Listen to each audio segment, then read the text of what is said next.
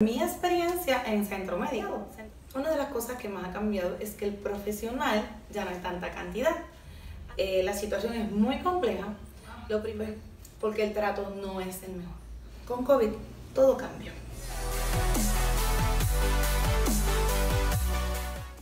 Hola, soy Edad Roca y estás hoy en Vitamina ER. Recuerda que estamos en YouTube, en Facebook e Instagram, que puedes vernos todos los videos que hemos creado de salud, así que entra por ahí. Hoy en particular vamos a estar hablando de mi experiencia en Centro Médico. Centro Médico, para los que no son de Puerto Rico, es uno de los hospitales con mayores recursos a nivel profesional, tanto económicos como profesionales, y tiene básicamente recibiendo la mayor cantidad de gente entre COVID, eh, porque chocaste y te parataste. Ahí están básicamente la mayor cantidad de profesionales disponibles 24/7, ¿ok? Pero con lo del COVID todo ha cambiado. Una de las cosas que más ha cambiado es que el profesional ya no hay tanta cantidad. A todos aquellos que están pensando en si me vacuno o no me vacuno, si voy al médico o no voy al médico, si sigo mis tratamientos, ¿qué puedo hacer? Yo debo decirte lo siguiente, basado en mi experiencia en ir al centro médico, que como dije, una institución hospitalaria de calibre mundial, no piensen que van a ir a ver eh, Grey's Anatomy o te lo van a atender allí súper espectacular, porque no lo es. Eh, la situación es muy compleja. Lo primero que usted tiene que tener es dos mascarillas KN95, póngaselas. ¿Por qué? Porque allí hay una cantidad de gente mezclada increíble. ¿Ok? Aquellos que llegan, aquellos que se fueron, los que vienen, más sus familiares, está todo el mundo en el mismo sitio. Encima de eso, tengo que contarles que yo, que estuve acompañando a un familiar, cuando salió de operación, lo suben a cuarto. Cuando suben a cuarto, en la parte de afuera de las habitaciones, hay una maquinita que dice presión negativa. ¿okay? Cuando uno ve eso, y los que son de la industria de salud saben que entonces hay unos cuartos en particular y yo veo presión negativa 4. Así que me doy cuenta de que hay algo un poquito más allá de lo que está ocurriendo. Y encima de eso veo a todas las personas a, entrando a un cuarto en particular y les pongo la foto, entrando, ¿verdad? Con todo, con todo el traje y la indumentaria que requiere atender a un paciente con COVID. En el mismo piso está mi familiar. Quiere decir que ya está generada de COVID está extendiéndose cada vez un poco más porque hay más gente, ¿verdad?, este, enferma con el diagnóstico de COVID. Déjeme decirles que los enfermeros están tan cansados que usted lo puede ver en las caras. Puede ver que a veces en el turno lo que hay es una o dos personas para todo el piso. Puede ver, em, por ejemplo, a mi familia le pusieron la morfina prácticamente en turbo a las millas. Obviamente se estaba revolcando el dolor, las lágrimas, pues porque el trato no es el mejor.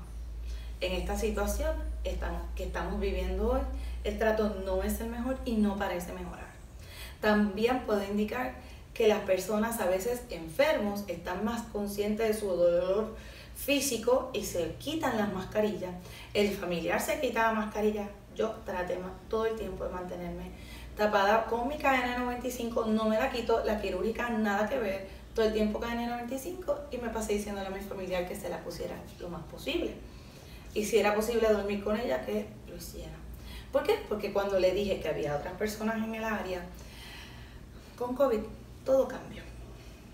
Y no eran, en un momento que estuve una semana, había dos personas, luego eran cuatro con COVID. ¿Y qué van a hacer? Es lo que tienen que hacer, atenderlo. Mire, si no hay casi enfermeros para atender los que están más o menos bien, Imagínense el trabajo que pasan con COVID, que literal atenderán a uno como una peste, locos por irse, salir de esa habitación, quitarse todo lo que tienen encima y salir de allí corriendo.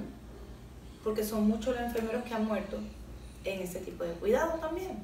Así que estamos hablando de que no existen prácticamente muchos enfermeros, tampoco hay muchos médicos disponibles ni que quieran estar correteando por allí saludando y, y viendo gente, no pasa eso, ¿ok? Si te atienden bien y si no también. Los medicamentos te tocan exactamente a la hora que le toca al del otro, aunque a ti el tuyo es cada seis y el de cada cuatro, te toca a la hora que le toca al otro, porque no hay casi nadie que pueda ir con el carrito dando la medicina en el tiempo que es. Demasiada carga para unas pocas personas que son los enfermeros. Cuando usted le diga que va a subir a piso, porque obviamente sabiendo esto usted no quiere dejar a su familiar solo, porque nadie lo puede atender bien, y usted va, lo baña, lo cuida, como hice yo, no se desespere porque le pidan la vacunación. No se desespere porque hay que hacer fila y darle las instrucciones. Porque usted tal vez está muy ajorado, como me pasó a mí. Una señora me dice, ah, que no dejan entrar a uno. Y nada, la queja de todo, ¿verdad? Que no entrará uno, que qué problema. Y yo le dije, mmm, la dejé hablar. Cuando terminó, le dije, a donde vamos a entrar precisamente ahora, en esa puerta para abajo, hay cuatro personas con COVID. ¿Qué mascarilla usted tiene puesta? Una mascarilla que por aquí le salía. No tenía más, sí, gracias a Dios tenía más mascarilla. Se puso doble, aunque era la quirúrgica, se la puso doble. Y rápido llamó un familiar y le dijo, tenemos que sacar a fulana de aquí de inmediato. Ah, ya no se quejó ver de la entrada. Ahora entiende por qué en la entrada pasa lo que pasa. Y es porque, ¿qué? Porque la están cuidando a ella. Porque la están cuidando a ella y eso es lo que hace la gente en los hospitales cuida al que viene y trata de cuidar al que está allí, con los recursos que tiene.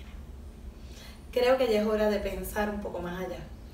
Mire, no es hora de caerse, no es tiempo de vacilar si me trato o no el corazón, la diabetes. Mantenga sus tratamientos al día. Guíe con cuidado para no tener un accidente. Trate de estar bien. No se trepe al techo. No haga desarreglos manténgase saludable. Miren, señores, no hay casi personal. Y como yo siempre, siempre pienso en ti, te recomiendo que te vacunes, te recomiendo que te cuides, que tengas la mascarilla necesaria para la situación en la que vas a estar. Que tengas distancia y más que nada, continuemos lavándonos las manos constantemente. ¿ok? El alcohol, el hand sanitizer y sobre todo agua y jabón. Mantengámonos siempre saludables porque yo siempre pienso en ti.